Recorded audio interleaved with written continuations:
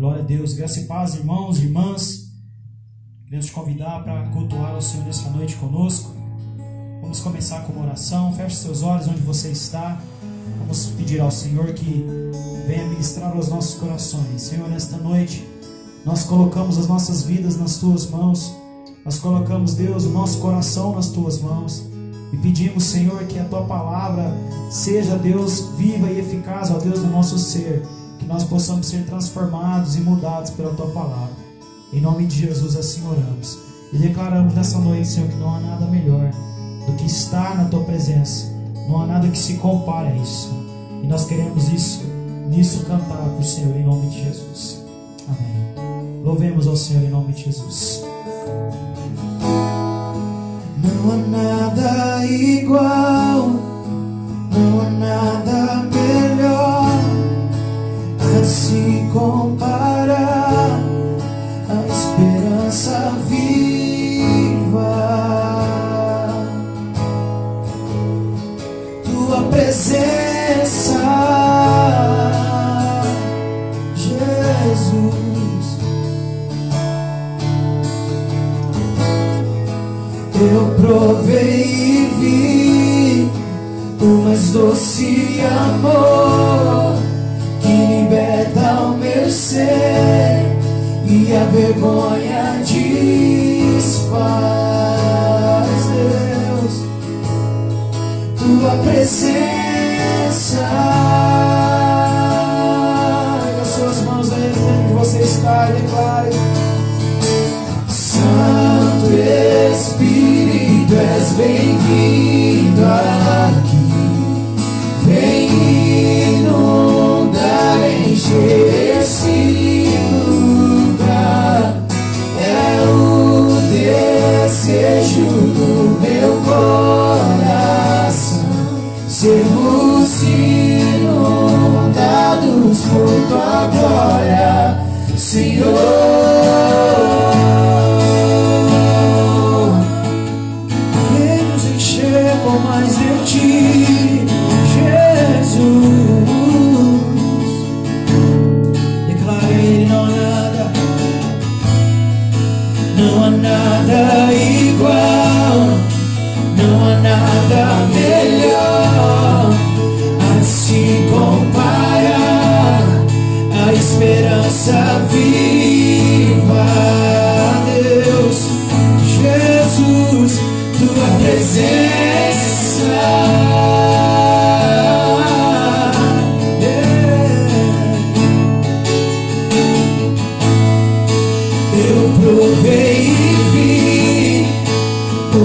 Doce amor que liberta o meu ser e a vergonha desfaz.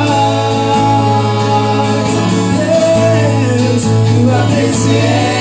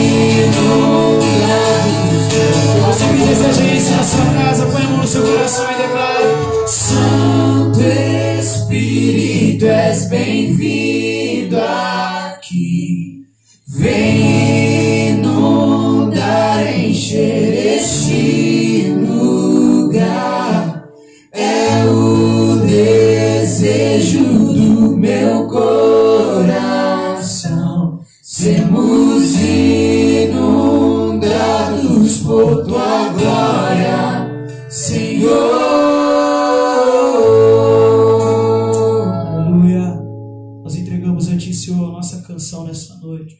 Nós entregamos a Ti, ó Deus, a nossa declaração de amor. Que o nosso coração é Teu, Senhor. A nossa vida é Tua, Deus. Por isso nós te pedimos. Toma o Teu lugar, Senhor. Toma o Teu lugar nos nossos corações. Inunda os nossos corações. Transforme as nossas vidas, ó Deus. Mude as coisas, ó Deus, de lugar se for necessário. Faça a transformação real nas nossas vidas, Deus. Em nome de Jesus assim oramos. Amém. Glória a Deus.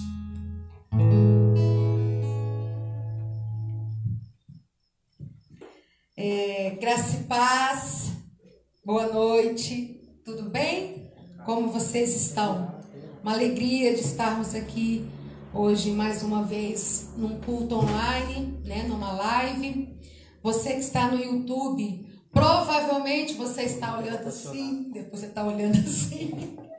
Nós estamos ajustando. Glória a Deus que você está bem, não está sofrendo de labirintite. Mas isso é, são situações do aquilo que é feito ao vivo, né? E a gente vai estar acertando aí agora. Você que está nos acompanhando pelo YouTube, está tudo certo. É, pelo Facebook está tudo certo. E YouTube a gente já está se organizando aqui.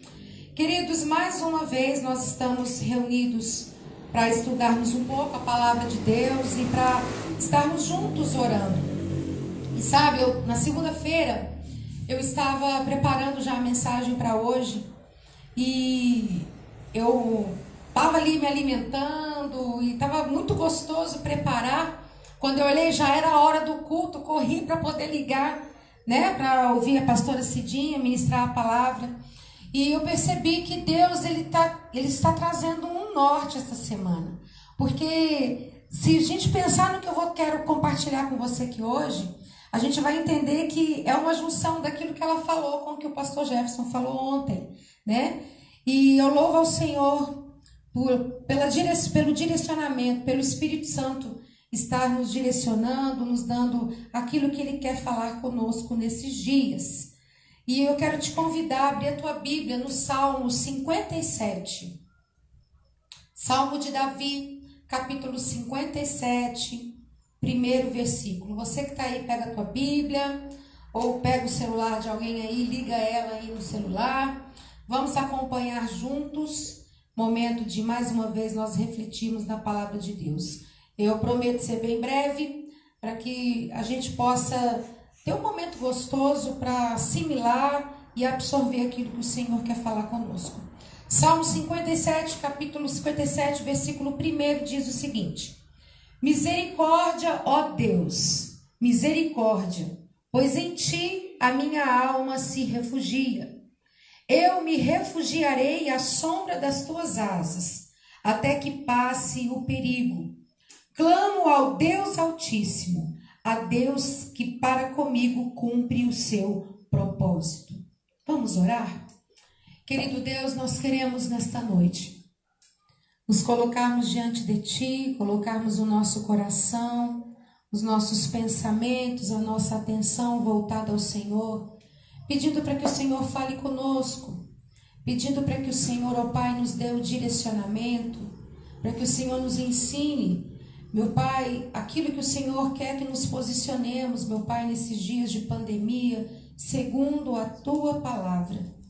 Nós te louvamos, ó Pai, porque o Senhor tem nos dado estratégias, meios de estarmos sendo alimentados, de estarmos sendo fortalecidos nesses dias de isolamento social, nesses dias em que, como igreja, nós estamos impedidos de estarmos reunidos no templo em aglomerações. Pai, mas o nosso coração está reunido nesta noite. A cada momento de live, a cada momento de período de oração que temos nas respectivas igrejas, nos projetos, nos programas que estamos tendo. Nosso coração se une numa só fé, num só propósito, em unidade. Meu Pai, porque somos o corpo de Cristo, somos a tua igreja. E nesta noite nós te pedimos que o Senhor fale conosco, Pai, de forma objetiva, clara, para que, meu Deus, nós tenhamos a direção do Senhor e venhamos, meu Pai, ser os homens e as mulheres que o Senhor espera que sejamos, meu Pai, diante, Senhor, dessas situações que estamos enfrentando diante desta pandemia. Nós te louvamos, nós te bendizemos e te exaltamos e levamos cativo a ti a nossa atenção, o nosso intelecto, o nosso coração ao Senhor. É o que te pedimos em o nome de Jesus. Amém. Amém? Queridos, esse salmo de Davi, o Salmo 57, foi escrito por ele no momento em que ele estava necessitado de socorro do Senhor e ele estava num tempo em que ele estava fugindo de Saul, então se abrigando numa caverna. E é um salmo de clamor, né? Davi está aqui clamando ao Senhor. Ele diz: Misericórdia, ó Deus. Misericórdia, pois em ti a minha alma se refugia. Eu me refugiarei à sombra das tuas asas, até que passe o perigo. Algumas versões vão dizer até que se passe toda essa calamidade. Então, no versículo 2 ele diz: Eu clamo ao Deus Altíssimo ao Deus que para comigo cumpre o seu propósito. Sabe, quando Davi escreveu este salmo, com todo este contexto de fuga, de ter que correr de Saul, ele já havia anos atrás recebido do Senhor a palavra de que ele seria o novo rei de Israel. Deus já havia levado o profeta né, Samuel até Davi, a gente encontra isso lá em 1 Samuel capítulo 16. É, Samuel já havia ido até Davi, derramado óleo sobre a cabeça de Davi e dito a ele que ele seria o próximo rei de Israel. Já havia uma palavra do que Deus queria para ele. Então Davi já conhecia meio que um esboço dos planos de Deus para a vida de Davi. Ele já entendia que Deus queria dar a ele o trono. Mas com o passar dos anos, a perseguição do rei Saul, do rei é, antecessor de Davi, o rei que se levantou contra Davi, essa perseguição foi crescendo de maneira e foi se intensificando de forma tão abrupta que chegou ao ponto de Davi precisar se tornar um fugitivo. E Davi então precisou deixar sua família, deixar os seus entes queridos, deixar a sua posição. Ele que já era um guerreiro em Israel, precisou então viver como um fugitivo, se escondendo em cavernas, se escondendo em cidadezinhas, se escondendo daquele que queria matá-lo. Sabe? E a gente pode perceber uma coisa muito importante nesse texto de Davi, que eu quero agora começar a chamar a tua atenção. Conhecer a vontade de Deus para a vida de Davi, saber o que, que Deus queria de Davi, fazê-lo rei, rei de Israel, e que Deus faria o que fosse necessário para que ele se tornasse o rei, não anulou na vida de Davi o seu dever, a sua responsabilidade de orar e clamar ao Senhor e também de ser cauteloso, de ser prudente. Então nós precisamos aqui desse texto tirar essas duas lições tão importantes. Aquele homem e aquela mulher que conhece pelo menos o esboço daquilo que Deus quer para a tua vida. Que sabe pelo menos a direcionamento de que Deus quer te abençoar te fazer vitorioso e vitoriosa nessa terra. O homem e a mulher que tem esta noção do que, que Deus quer de você. Você precisa então diariamente ter posicionamentos como daqueles que confiam em Deus, como a oração, o clamor e a prudência. Davi sabia que no final de todas as coisas, que no tempo em que Deus decidisse pôr um fim naquela perseguição, que Deus decidisse pôr um fim sobre o reinado de Isaú, de Saul, Deus sabia que naquele momento em que colocar o fim, Deus iria então colocar Davi no trono, mas mesmo assim, ele se posicionou em oração e prudência. Sabe, Davi ele acreditou nas promessas de Samuel, nas palavras que Samuel trouxe a ele. Davi, ele conhecia a promessa. E por isso, ele estava com seu coração firmado na vitória. Seu coração, apesar de passar toda a angústia, a incerteza de estar tendo que fugir, tendo que correr, tendo que se proteger, ele tinha uma certeza que Deus o guardaria. Mas ele não foi negligente naquilo que era seu dever, que era orar ao Senhor e se proteger. E assim como você, eu tenho certeza que no seu coração, por mais que venha um medinho diante de uma notícia, você fica sabendo, como é o nosso caso aqui em Guará, por exemplo, nós é, ficamos sabendo desde ontem né, da confirmação de um caso de Covid-19 em Guará, e o coração das, das pessoas começam a ficar temeroso, preocupado. Mas lá no fundinho do teu coração, você tem uma certeza que Deus vai cuidar de você. Você tem essa certeza que Deus está zelando por você e há de dar o livramento. Mas mesmo para você que tem essa certeza, você precisa se posicionar segundo os homens e mulheres de Deus se posicionaram em situações parecidas. Você precisa se posicionar como um homem de fé, uma mulher de fé, que diante das adversidades, diante das dificuldades, corre para a oração, para o lugar onde você vai lançar as suas ansiedades, como o pastor Jefferson disse ontem. Corre para um lugar secreto, como a pastora Cidinha disse na segunda-feira. Você busca em Deus o fortalecimento e você busca em Deus jogar sobre ele a sua ansiedade, colocando as suas súplicas e suas petições. Amém? Nós percebemos nessa postura de Davi que em meio ao perigo de Saul o encontrar e então poder é, prendê-lo ou quem sabe até tirar-lhe a vida. Quando ele então chega para Deus e começa a orar e se protege se escondendo em cavernas, a impressão que nós temos quando a gente lê de forma muito superficial é de que faltou fé ao coração de Davi, mas não faltou fé. O que na verdade estava ali predominando era dependência. Davi dependia do Senhor. Ele confiava na, na, na, palavra do profeta, ele confiava na promessa de Deus para a vida dele. Porém, nos momentos em que o medo vinha, nos momentos em que era real o perigo, em que não era apenas uma notícia, mas o perigo havia chegado ali, naqueles momentos, ele corria para o Senhor em oração e se guardava. Essa atitude de Davi vai nos mostrar dependência. Sabe, nesse tempo de pandemia, nós estamos vivendo muitas incertezas. De um lado, nós estamos vivendo o perigo de sermos contaminados pelo vírus. E se ainda que nós que não somos, que somos às vezes mais sadios e não corremos tanto perigo, ficamos preocupados em ainda também contaminar outras pessoas que são mais sensíveis, que estão no, grupo de risco. Por outro lado, nós também temos toda a preocupação das consequências por conta do isolamento social, né? as dificuldades e a crise econômica que tem assolado nosso país. Então a gente se vê com perigos eminentes chegando, já não é mais algo que a gente ouvia, ouvia nos noticiários lá fora, em outros países, mas chegou ao Brasil. Chegou ao nosso estado e às vezes, como você de Guará, chegou até a sua cidade.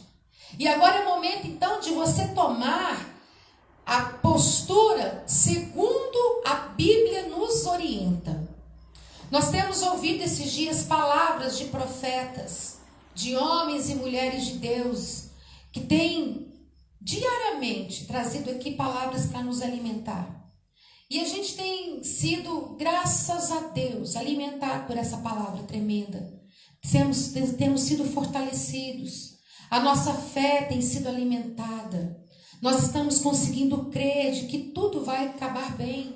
De que no final a gente vai é, poder testemunhar o livramento e a bênção do Senhor.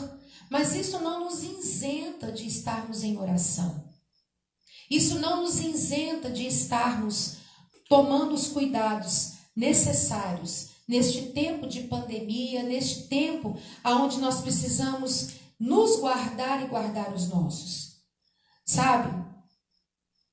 Confiar na soberania de Deus, de que Ele está no controle de todas as coisas e de que Ele está agindo ao nosso favor, não afasta a nossa responsabilidade de orar, assim também como não nega a nossa responsabilidade de agir com prudência. Davi tinha certeza que Deus livraria ele. Ele foi ungido o próximo rei de Israel. E por mais que Saul colocasse um exército atrás de Davi, por mais que Saul chegasse muito perto de Davi, a, a, a, prova da confiança de Davi é que quando ele pôde fazer algo contra Saul, ele não fez porque ele não queria tocar no ungido do Senhor e ele acreditava que de alguma maneira miraculosa o Senhor iria protegê-lo, iria guardá-lo.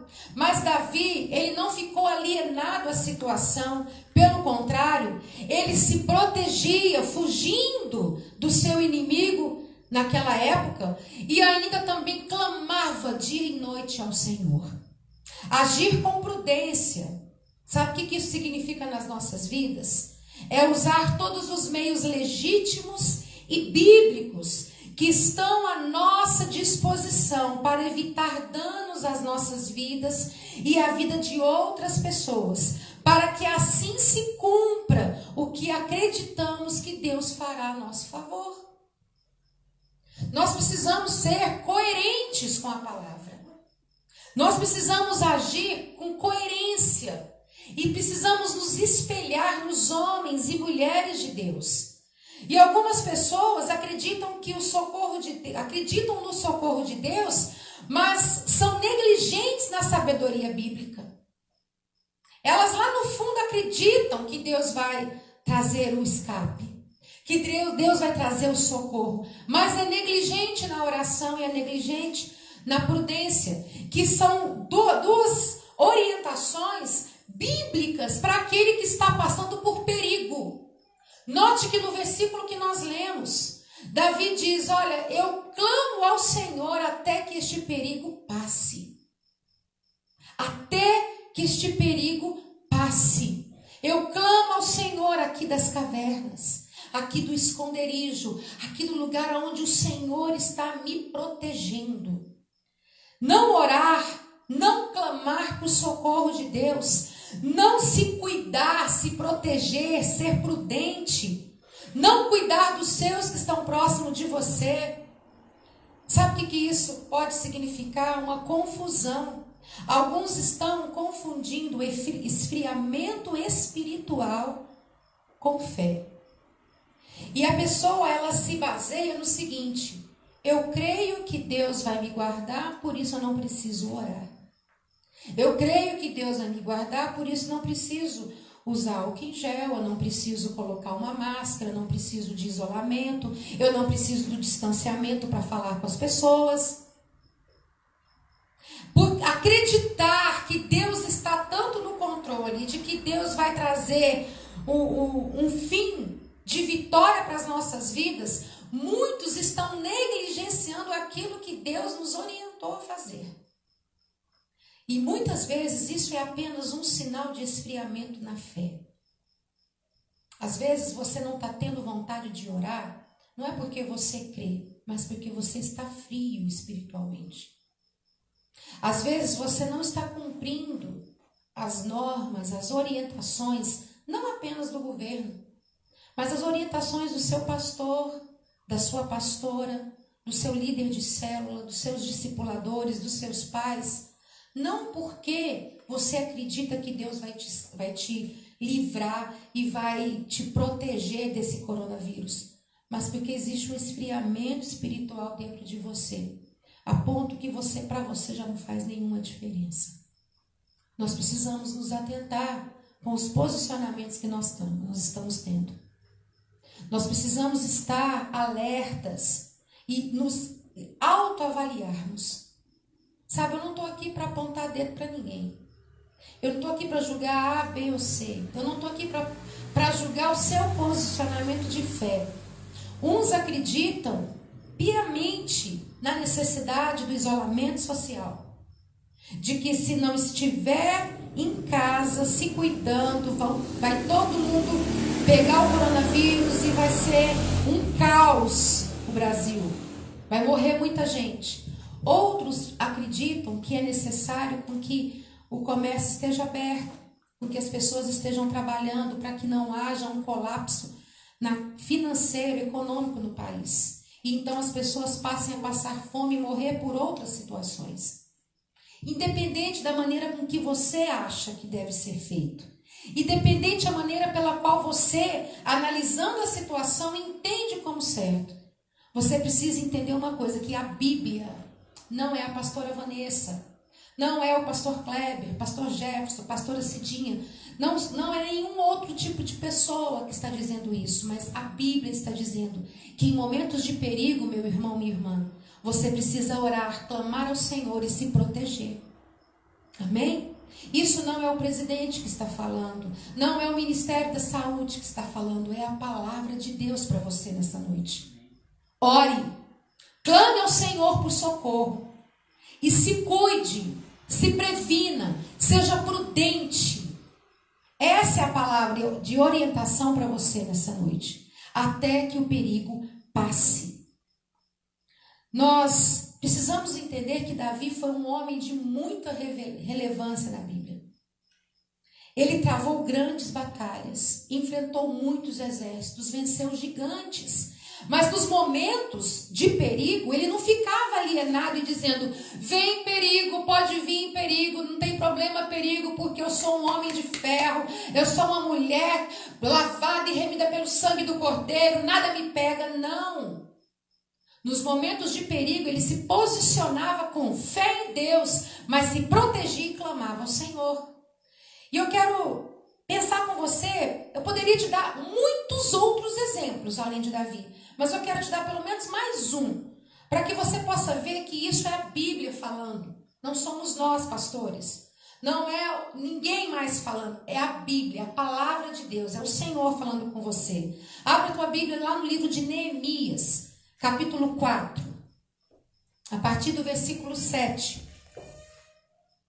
Neemias 4, 7. Diz assim, Neemias 4, 7. Quando, porém, Sambalate, Tobias, os árabes, os amonitas e os homens de Asdod souberam que os reparos nos muros de Jerusalém tinham avançado e que as brechas estavam sendo fechadas, ficaram furiosos. Versículo 8. Todos juntos planejaram atacar Jerusalém e causar uma grande confusão. Olha só, mais um episódio, mais um personagem bíblico vivendo agora ameaças. Neemias, quando você vai estudar o livro de Neemias, você vai entender que no capítulo 1 ele tem uma orientação de Deus. Ele tem, ele recebe uma direção do Senhor de reconstruir os muros que estavam em volta de Jerusalém. E Deus vai abrindo portas e tudo vai contribuindo para que isso aconteça. E Neemias então vai para Jerusalém. E quando ele está ali reconstruindo os muros, tapando as brechas, né, fazendo com que os muros que protegiam Jerusalém fossem novamente reconstruídos após o cativeiro babilônico que havia sido queimado, destruído. Ele então recebe essa missão do próprio Deus de reconstruir o muro. Ele então recebe ameaças de Sambalate, Tobias, e eles então numa armadilha, numa estratégia né, do inimigo, eles planejam todos juntos atacar Jerusalém e causar uma grande confusão. Sabe, Neemias tinha total certeza que era Deus que tinha mandado ele reconstruir os muros. E se Deus havia mandado Neemias reconstruir os muros, sabe isso que isso significa? que o fim seria então de muros reconstruídos. Mas mesmo diante de uma certeza que era Deus que havia mandado ele ir, ele então se encontra no meio da construção com um perigo de, um, de inimigos vindo querer causar confusão e atrapalhar a missão que Neemias tinha. Mas aí, o que, que a gente pode perceber? Neemias, capítulo 4, versículo 9. Vamos ler de novo o 7 8 e 9 para que você possa entender. Quando, porém, Sambalate, Tobias, os árabes, os amonitas e os homens de Asdod souberam que os reparos dos muros de Jerusalém tinham avançado e as brechas estavam sendo fechadas, ficaram furiosos. Todos juntos planejaram atacar Jerusalém e causar confusão. Versículo 9. Mas nós, Neemias dizendo, Oramos ao nosso Deus e colocamos guardas de dia e de noite para nos protegermos deles. Olha só, mais uma vez um homem de Deus, direcionado pelo próprio Deus, com uma missão vinda do próprio Deus, se viu em, em situações de ameaça e de perigo. E ele não decidiu, diante daquela ameaça, cruzar os braços e continuar sua rotina de vida como se nada estivesse acontecendo, como se não houvesse nenhum perigo, ele acreditava que Deus ia dar, dar o sucesso na missão que o próprio Deus havia dado a ele. Não. Ele decidiu agir com oração e prudência. E então no versículo 9 ele diz o que ele decide, qual foi a, a, a, o posicionamento dele. Nós oramos ao nosso Deus e colocamos guardas de dia e de noite para nos proteger dos inimigos. Amados, entenda uma coisa. Eu preciso muito que você entenda isso. A Bíblia, ela traz inúmeros relatos, muitas histórias, e cada uma delas, nós quando lemos, precisamos tirar lições dela. As lições, as, as histórias, os relatos bíblicos, eles estão aqui não apenas para que você possa conhecer como foi a história de Israel, não, mas para que você possa entender o coração de Deus e entender o que Deus espera de mim e de você. Entender o que Deus espera de cada um de nós, como homens e mulheres de fé. Em meio a uma, a uma ameaça, Neemias, assim como Davi, decidiu orar e se proteger, e proteger também os soldados que estavam com ele. Olha só, ele não ficou alienado. Agir com prudência e sabedoria bíblica não batendo no peito e dizendo não preciso me preocupar. Para nós encerrarmos, para que você possa entender que Deus espera com que eu e você tenhamos essa postura de oração e de prudência. O apóstolo João, lá em 1 João, capítulo 5, 14, ele nos traz um conselho que nos mostra que quando nós oramos e nos protegemos, na verdade nós estamos expressando fé e confiança em Deus, é dependência plena. Ele diz assim: esta é a confiança que temos ao nos aproximarmos de Deus. E se pedirmos alguma coisa de acordo com a sua vontade, ele nos ouve. O Senhor, a vontade dele é salvar você. A vontade dele é te fazer prevalecer diante de todas essas situações adversas que nós estamos enfrentando. Deus não tem prazer na morte do ímpio, não tem prazer na morte daquele que não o conhece.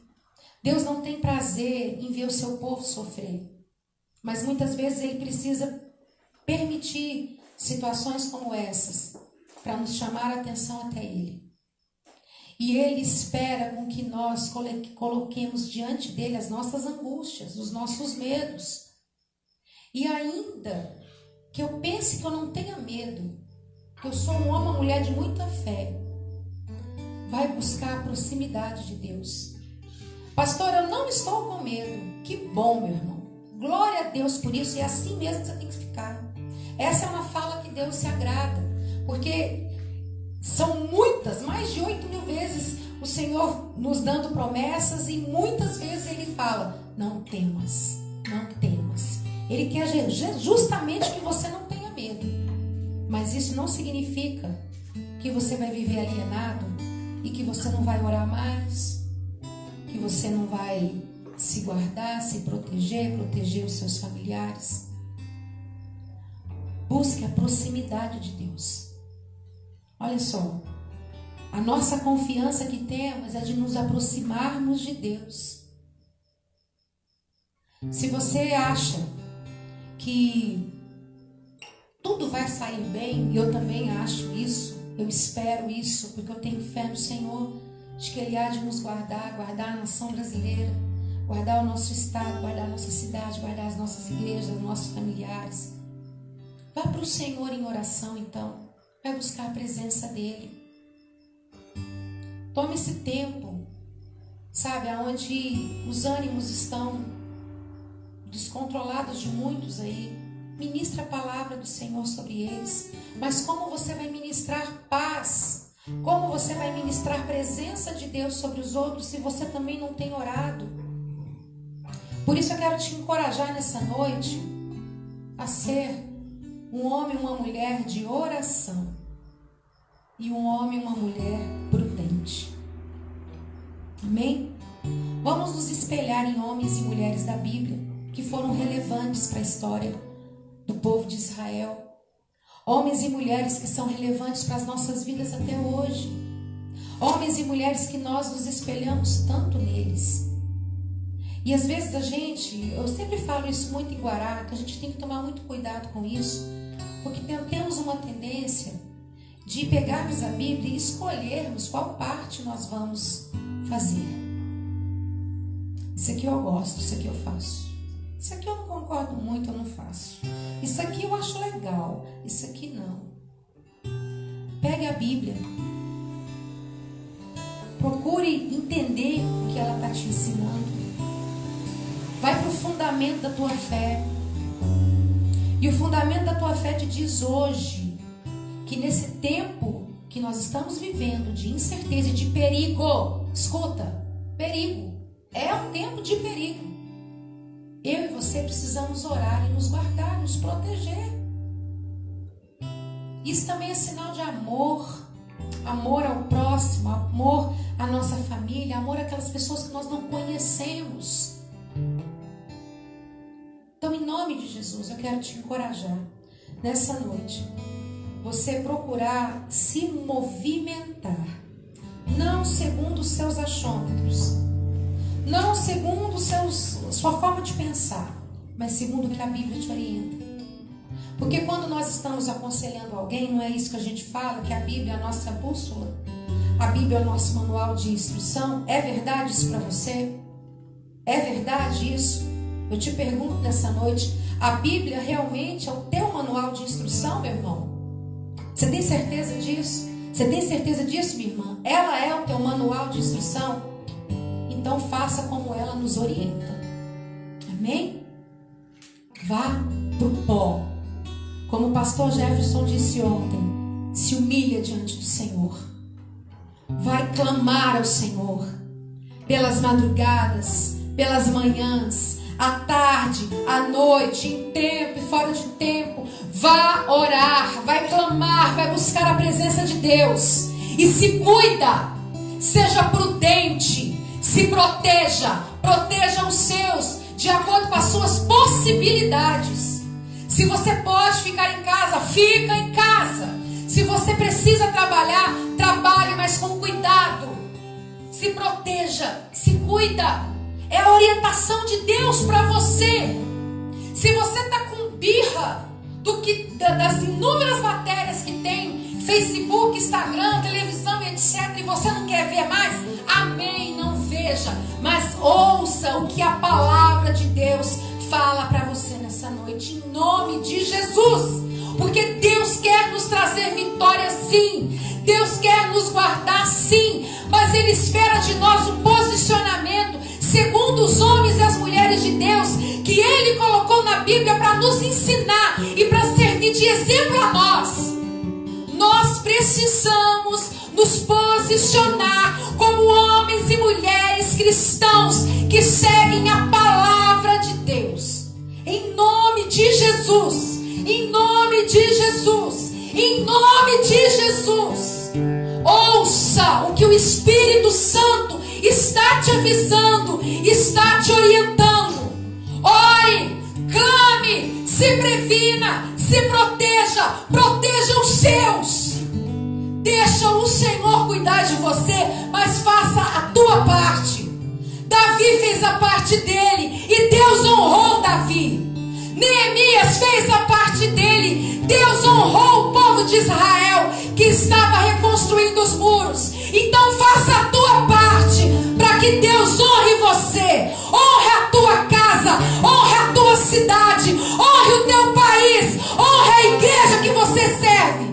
Senhor.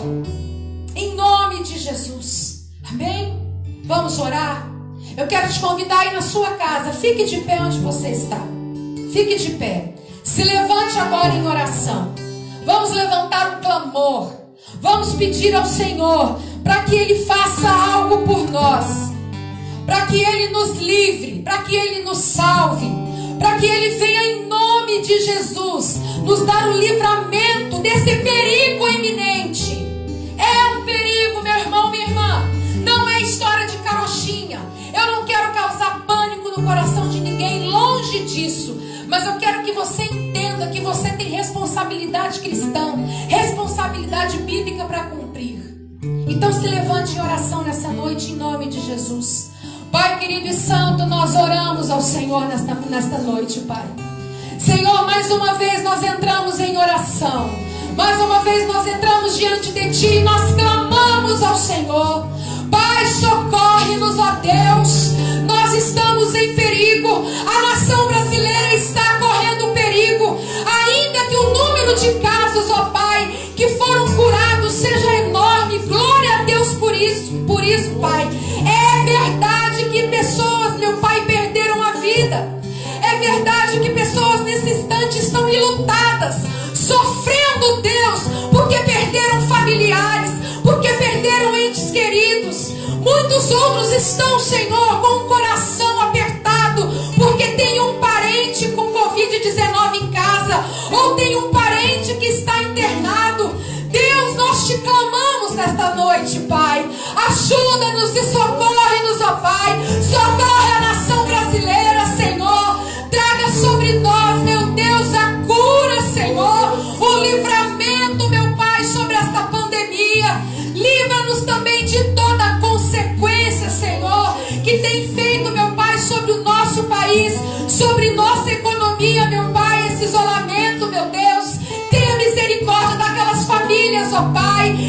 hoje estão preocupadas porque já não tem mais nada na dispensa, Senhor, porque o cliente sumiu, porque não tem serviço. Ó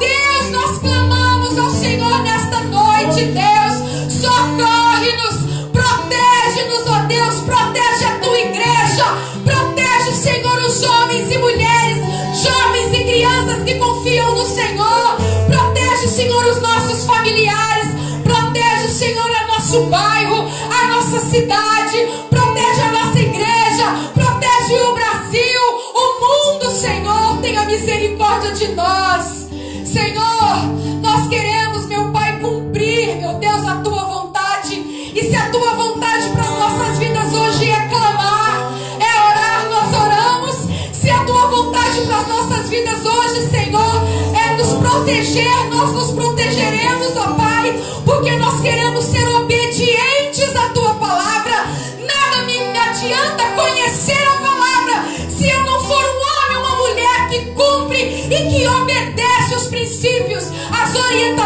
bíblicas, ó Pai.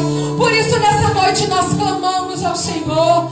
Por favor, Senhor, salva o Brasil. Por favor, Senhor, livra-nos desta pandemia, Senhor. Nós oramos por todos aqueles que estão, Senhor, contaminados pelo coronavírus. Nós oramos por todos aqueles que nesse instante estão, Senhor, com sintomas e que estão com medo porque estão com sintomas,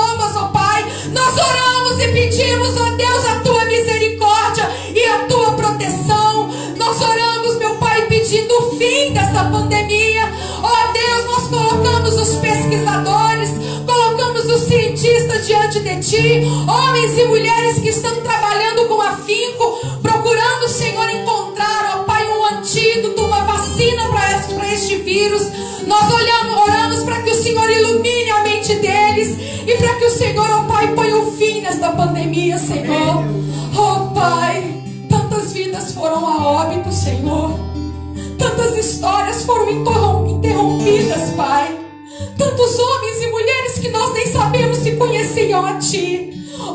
Espírito Santo de Deus, nos ajuda nas nossas fraquezas.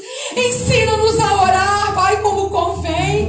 Ajuda-nos a intercedermos e a orarmos e a clamarmos ao Senhor por socorro nesses dias difíceis, nos dias de calamidades, nos dias de perigo. Nós te imploramos, nós te pedimos, nós clamamos por socorro. Socorre-nos, Deus, nós te pedimos em nome de Jesus. E traga sobre nós consciência, Senhor.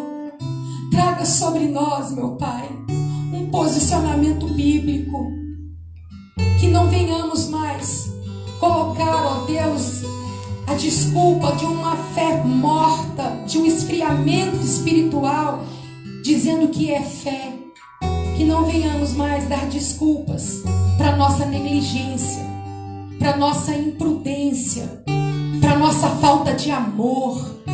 Que nós não venhamos colocar mais o nome de fé quando nós agimos, ó Pai, de maneira alienados a tudo que está acontecendo ao redor do mundo e na nossa nação. Levanta-nos para a oração.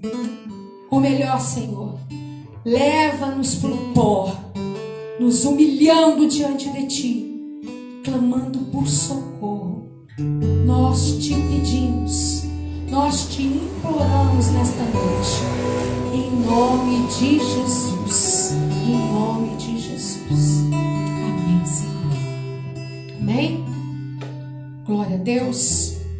Espero que o Senhor tenha falado com você, falado ao teu coração e te dado uma direção essa noite, em nome de Jesus. Amanhã nós estaremos, Pastor Kleber, amanhã estaremos trazendo a palavra, mais um alimento do Senhor, para que nós sejamos fortalecidos. Eu sei que às vezes parece meio cansativo, né? Todo dia live, todo dia live, sim, todo dia. Porque nós estamos vivendo tempo de perigo. Nós precisamos estar alimentados, fortalecidos. Em nome de Jesus. Amém? Deus te abençoe. Até próxima live. Em nome de Jesus. Que o grande amor de Deus, a maravilhosa graça do nosso Senhor e Salvador Jesus Cristo e as doces consolações do Espírito Santo de Deus seja sobre você